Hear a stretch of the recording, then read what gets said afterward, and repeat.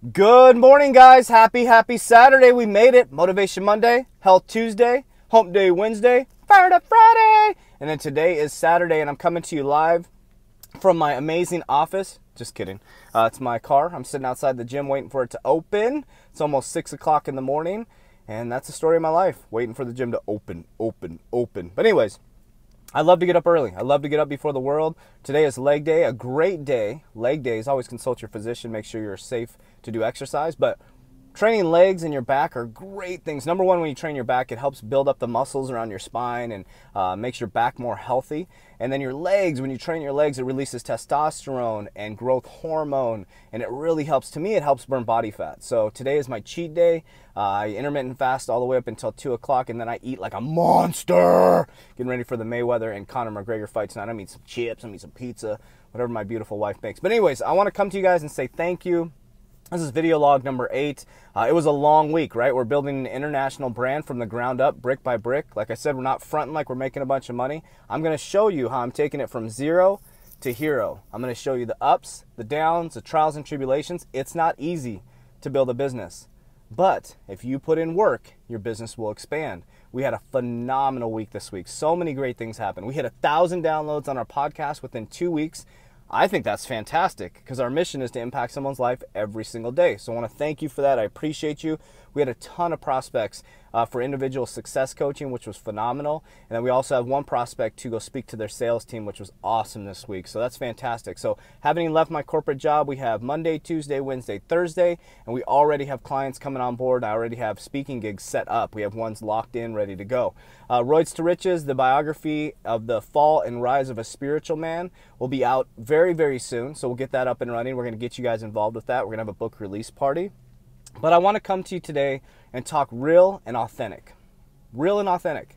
So I know I'm a motivational speaker. I know I uh, have a podcast all about motivation, but if you ever run into a motivational speaker, success coach, life coach, whatever, and they act like they have no problems, run, run, run as fast as you can because Johnny V is going to be real as all get out. Because yesterday was a long day, it was a long week, I haven't gotten hardly any sleep. I've been grinding, building this international brand because that's what I choose to do. It's my choice. When I say there's 24 hours in a day and I choose to use 18, that's what I choose to do. I don't impose that on anybody else.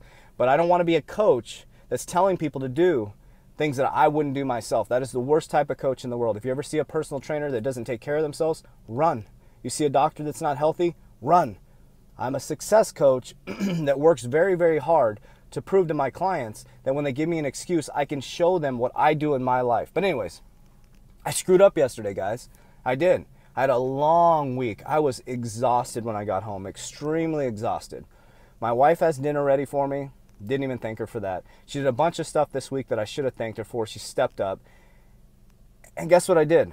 I started blaming her and pointing out all the things that she didn't do this week. What the hell is wrong with me? I started pointing out all the things she didn't do this week. And you know why I did that? You know why I did that? Because I was feeling a little bit insecure myself. I was feeling down. I was feeling frustrated. And I was tired. And I took it out on her. And unbelievable. Guess what? It happens all the time. So now you know what I need to do? Is I need to suck it up this morning when I get done from the gym. I need to apologize. She's still going to be mad at me. I'm sure she's going to be mad. She's going to be frustrated. Um, I let my uh, emotions get the best of me. I said things that I shouldn't have said and now I probably ruined the whole weekend. But the great thing is, is that instead of trying to not take responsibility for it, I'm going to take responsibility. I'm going to hit the reset button today. I'm going to do the best I can to apologize and try to repair what I did damage on. Now, I don't want you to get frustrated. So what happens is is we all get frustrated, we all get tired and we all screw up. Make sure you have the ability to hit the reset button like I'm going to do this morning. I'm going to be the not the bigger person. She didn't do anything wrong. I'm going to go apologize and I'm going to make sure this is right. I'm going to do the best I can today to make this right. Okay? It's okay to get frustrated. It's okay to get emotional. But remember, when things go wrong, hit the reset button. Today is Saturday. I'm going to hit the reset button. I'm going to work to get us back on track. Will it take 24 hours? Yes. But I can't let my emotion and frustration get the best of me. I pointed out everything she did wrong and I didn't point out one thing she did right. She did so many things right this week. and I appreciate her and I love her so much. But I wanted to come to you guys with that message this morning that nobody's perfect. Just because I do a motivational podcast every morning, because I have a success system that I wrote and that I follow every single day, I screw up too all the time. And my, you know, like right now, my outfit is really funky and I feel really bad for people that I go in there. But guess what? I don't care when I go to the gym. I go to train. I don't know if that's I guess I could wash my shirt. But anyways, okay, so let's have a great Saturday, guys. Get fired up, get motivated, keep the love in your relationship, and if you screw up, just say you're sorry. That's what I wanted to bring to you today. Just say I'm sorry. Be the bigger person. Don't let it spiral into this uh, spiral that just takes your whole marriage, relationship, or partnership out. I love you guys. Have a great day. Hit the reset button. Be happy. Take responsibility for your life and apologize to people and forgive people. Thank you so much. I love you. Have a wonderful day.